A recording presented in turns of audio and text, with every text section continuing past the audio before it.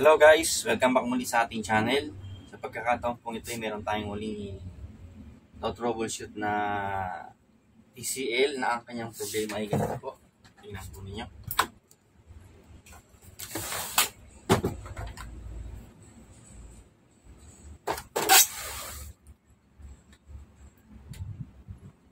Yan ang kanyang problema. Kung mapapansin nyo, madali nyo madidistinguish yung kanyang problema kung saan may problema. Titingnan nyo lang maigi ang inyong mga mata na yung buong kabuuan ng screen kung may makikita ba kayong kakaiba. Kung wala kayong makikita ng kakaiba, eh, kailangan natin buksan yan para malaman kung ano yung pinaka-problema talaga niya.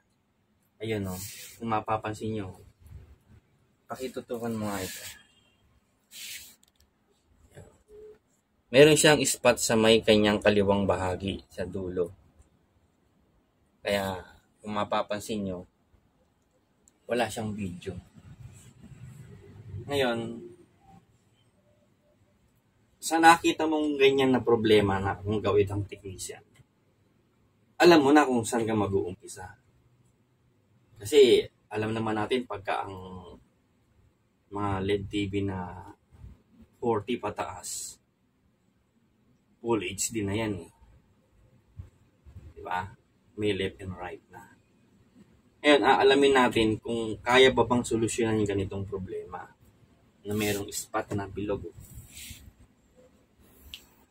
Lumalaki po yan hanggang nagiging ganyan, hanggang sa nagiging ganyan, hanggang sa nababasag na. Bakit? Kasi mainit yan eh. Hindi mo mahihipo, mainit. Ngayon, paano natin susolusyon ng ganitong problema? Panoorin niyo po maigi ang step by step na solusyon gagawin natin dito. Panoorin.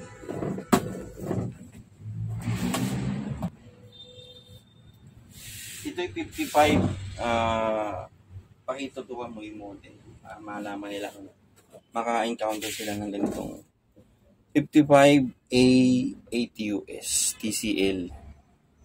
Yan ang kanyang model. Saan natin?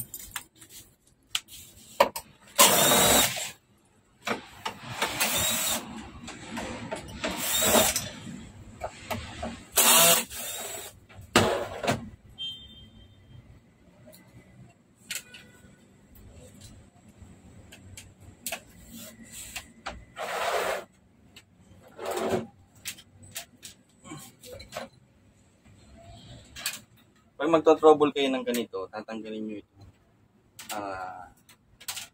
Ah, hindi sa gabal. Kasi mahirap pagka wala yung sensor. Hindi mo mapipindot ng maayos.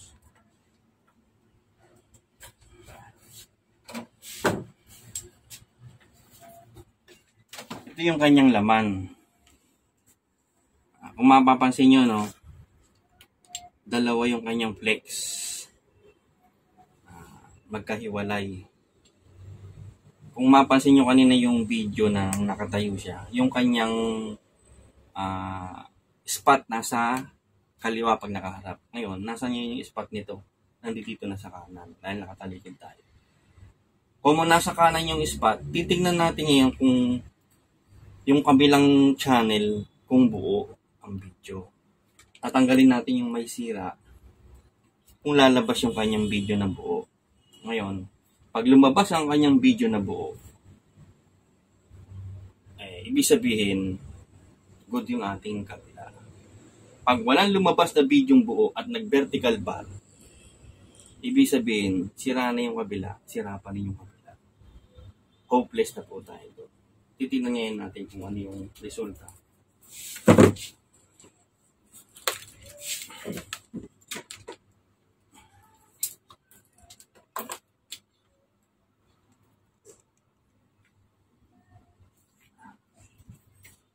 Ulitin natin ha.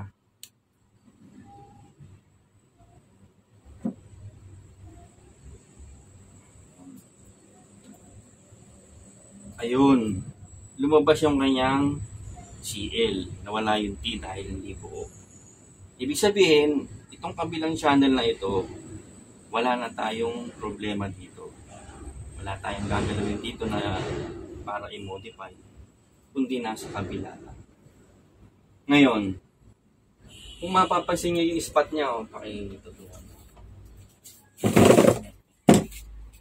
Yan yung kanyang spot. Bukod dyan, may spot pa yan sa may pinakakanto niya. Bakit pa nagkakaroon ng ganyan? Nasusunog kasi yun dahil yung kanyang supply na BGH, BGL, halos magkadikit kasi yan eh. Halos sa lahat ng panel, laging magkadikit yung BGL, BGL at BGH. Siyempre, kung supply yun, negative yung isa, positive yung isa. Nagkakaroon yun ng friction pag tumatagal eh. Nagiinit yun. Kaya, kung nagiinit, nasa glass siya, ang nangyayari tuloy, magkakaroon siya ng leakage. Kung magkakaroon ng leakage, di mainit. Siyempre, yung salamin na yan, may tinta yan eh. Di ba? Kaya nga, LCD. Ano yung LCD? Liquid. Meron siyang liquid. Na pagka yung liquid din na initan, magmamarka siya ng parang. Yun ang mga sakit ng mga uh, ah, LCD panel. Ngayon, pag nakakabit yung kabilang side na may sira, ang labas niya, di ba, vertical, walang video. Nung tinanggal natin, lumabas yung kanyang video sa kabila na okay. Anong solusyon na gagawin natin dito? Siyempre, kailangan matanggal mo yung kanyang leakage dito. Para yung kanyang picture mabuo. Ano isang solusyon? Ito solusyon.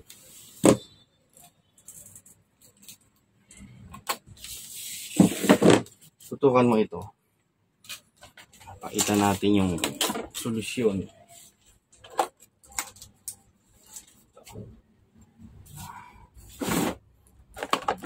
Kita ba to? Ito. Kita. Tutukan mo. Kung makikita. Yan ako.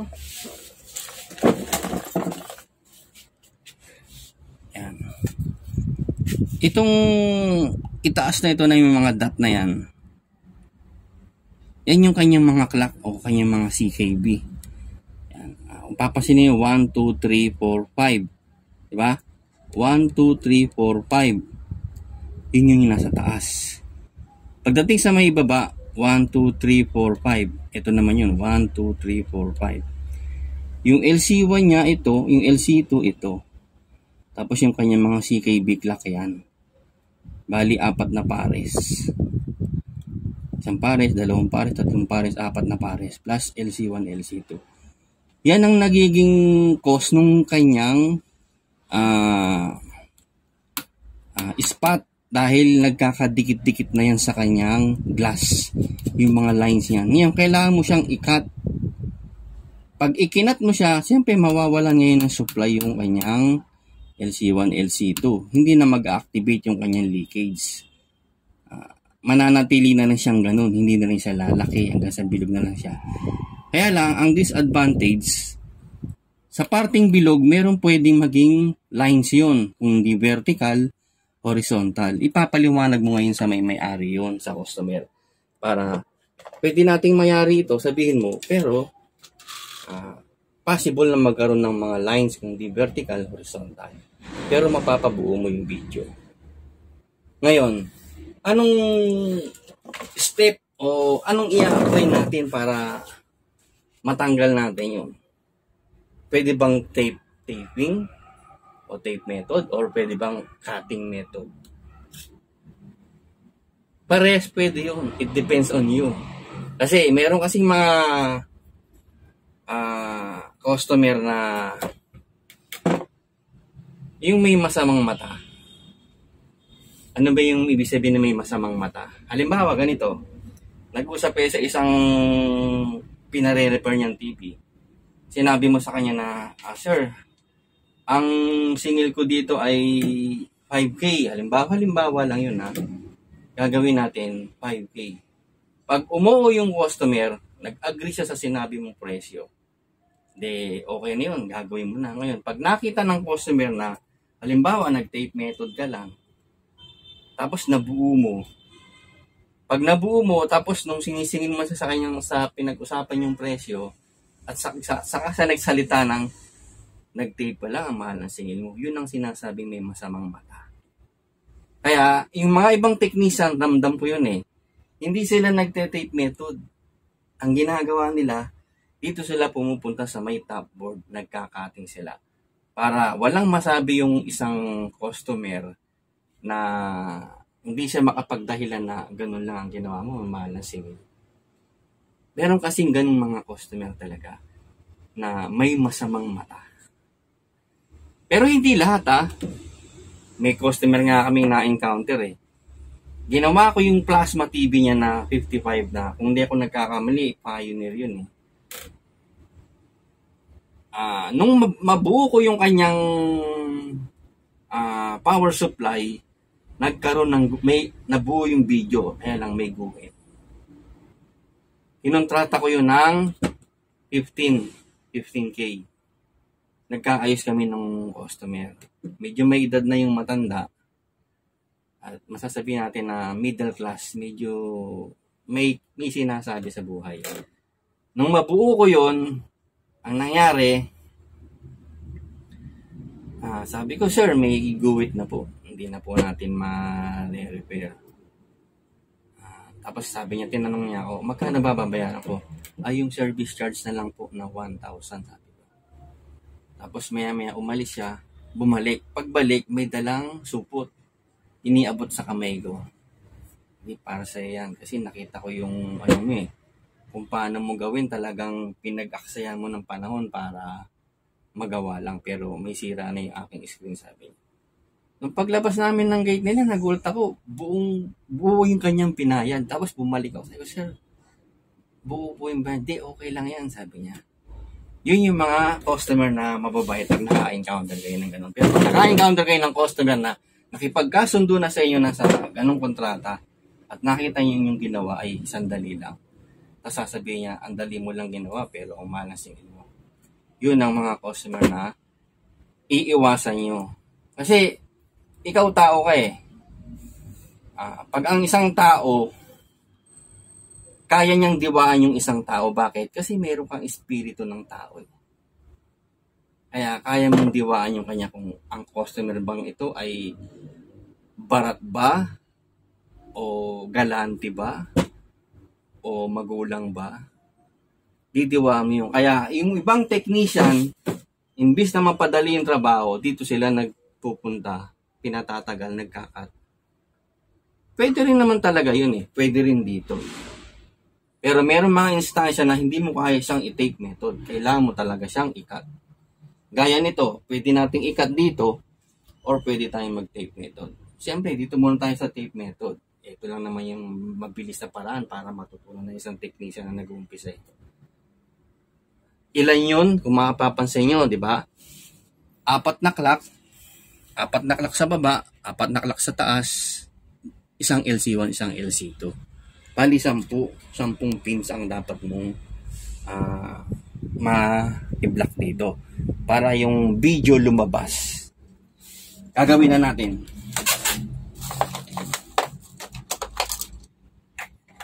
Nasaan ba ang mahaling pesa natin? Ito, ang mahaling pesa marami nang kinita itong tape na to. Sa atong gunting na pula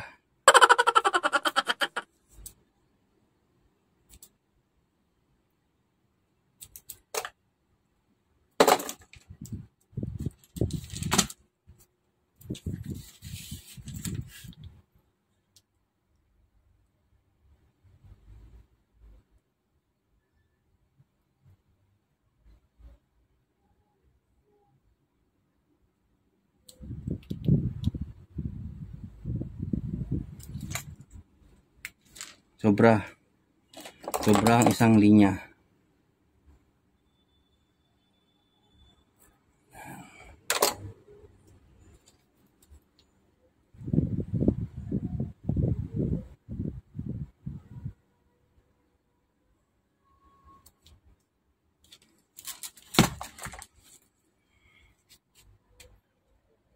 Tingnan muna natin kung tama nga yun. Baka mamaya, tama yun. Ano eh. Malalaman natin pag nag-bash yan.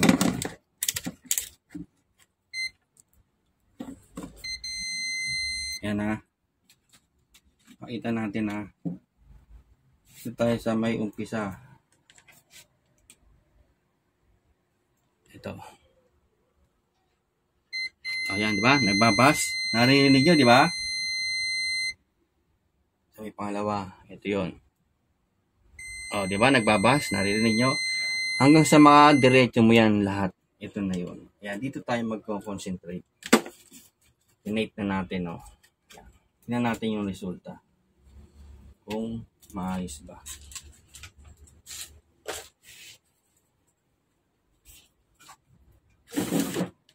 Okay.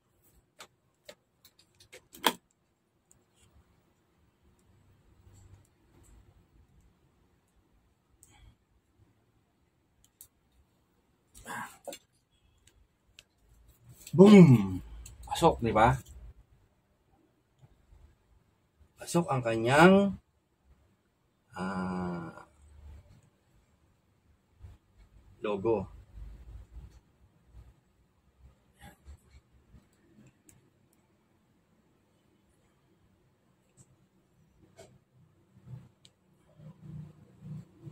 Tingnan natin kung ano reaction dun.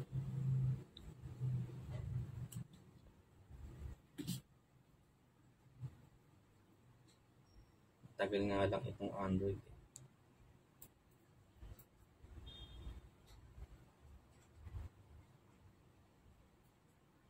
Yan. Kung mapapansin nyo, yung sinasabi ko kanina na may bilog, meron siyang lines. Yeah.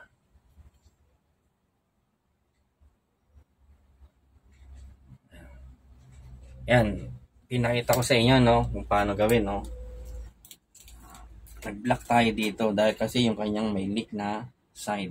Ngayon, sasarado ngayon natin to at talagyan natin ng video para makita natin yung kabuuan ng kung may ano ba yung nangyaring disadvantage dun kung may guhit pa dito o may guhit dito sa taas. Kasi hindi masyado makita dahil black.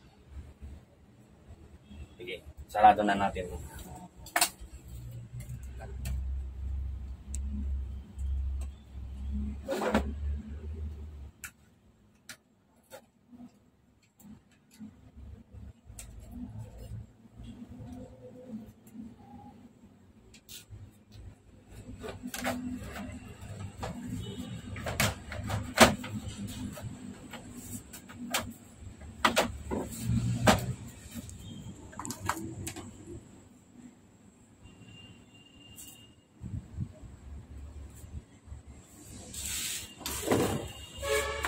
Yan na siya.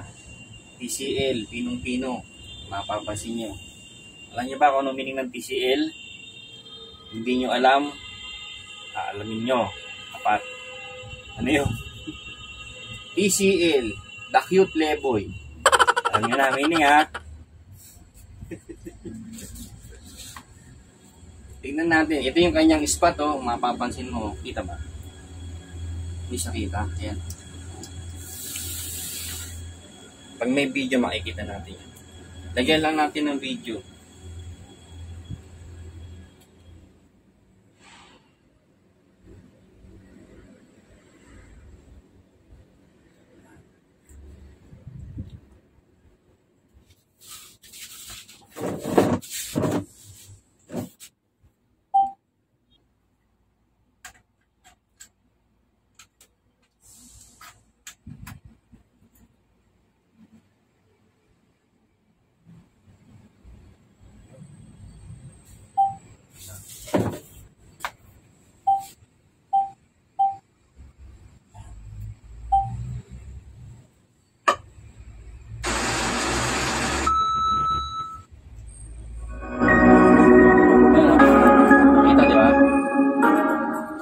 nyo yung disadvantage.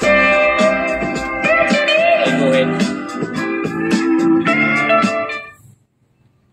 Pero yung kanyang kabuang video, pinong-pino. Wala nakakita ng mga lines na mine lines. Sa baba lang talaga dahil nandito kanyang spot. Yeah. Yan, yan o, oh, kita mo yung pine yan. Dito nang galing yan sa ispan. Ngayon, pagka mainit yan, may problema pa. Pero wala na siyang init eh. Kasi pagka mainit yan, yung blocking mo, kapos. Dapat black ka pa uli ng iba. Dahil pagka mainit yan at pinagpatuloy mong umaandar, lalaki ng lalaki yan. Hanggang sa mabilog na bilog, kasi mabasag yan. Kasi mainit siya. Diba yung salamin, pag nainitan, nababasag. Yung literal ah, ganun din yan. Sana'y may natutunan na naman kayo sa video na ito. Maigsi lang, pero katututunan ninyo ng mga techniques. Muli, salamat po sa Diyos sa kanyang kaloob na hindi